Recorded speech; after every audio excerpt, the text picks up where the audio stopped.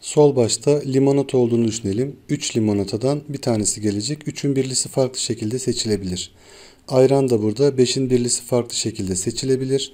3'ün birlisi çarpı 5'in birlisi çarpı ayran başta limonata sonda olsa bir de kendi aralarında 2 faktöriyel yani permütasyon 2'nin ikilisi kadar yer değiştireceklerinden bunu 2 ile çarparız. Bu kadar farklı durum oluşabilir. Sonra çarpı diyoruz. Geriye kalan 10 şişe zaten birbirlerinden farklı olduğu için 10 faktöriyel farklı şekilde burada sıralanabilirler. Herhangi bir sınırlama olmazsa toplamda 12 tane şişe olduğu için 12 faktöriyel olarak sıralanır. Bunları da üste yazalım. Ortadakiler 10 faktöriyel çarpı 3 çarpı 5 çarpı 2 olacaktır. Sadeleştirelim.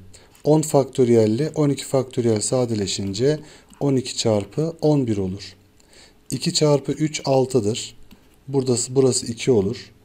5 bölü 2 çarpı 11'den 22'dir. Buna göre doğru cevabımız B seçeneğidir.